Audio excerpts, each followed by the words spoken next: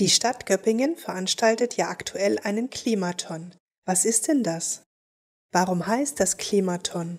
Nun, Klimaton heißt 42,195 Tage für mehr Klimagerechtigkeit. Also ein Marathon für das Klima. Die Stadt Göppingen ist bereits sehr aktiv in Bezug auf die Agenda 2030 und möchte durch den Klimaton mindestens 2030 Bürger aktivieren, einen Beitrag zu einer sozial-ökologischen, gerechten Gesellschaft zu leisten. Ja, in diesen 42 Tagen gibt es viele interessante Angebote, Veranstaltungen, zum Beispiel zum Thema Mobilität, Ernährung oder auch Shopping und Konsum. Dabei können die Bürger viele Impulse erhalten, was sie zum Schutz des Klimas beitragen können. Kann ich da einfach mitmachen? Ist das für alle? Auf jeden Fall. Schalte das Programm im Internet an und besuch die Vorträge oder besser beteilige dich an den Aktionen. Ja, auch wenn du nicht aus Göppingen bist, das Klima ist global.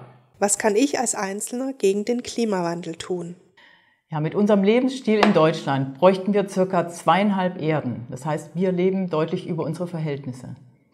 Es kommt darauf an, dass jeder von uns beginnt, bewusster zu leben. Auch Kleinigkeiten helfen.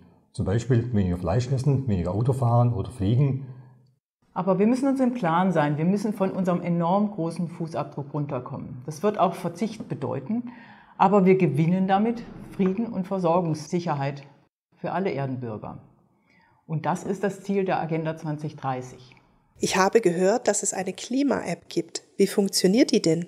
Ja, du kannst kostenfrei den Klimakompass von World Watchers runterladen.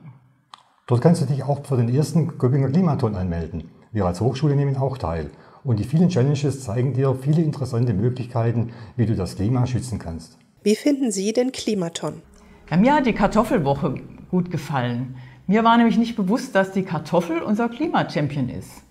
Der CO2-Fußabdruck einer Kartoffel ist nur ein Zehntel des Fußabdrucks von Reis.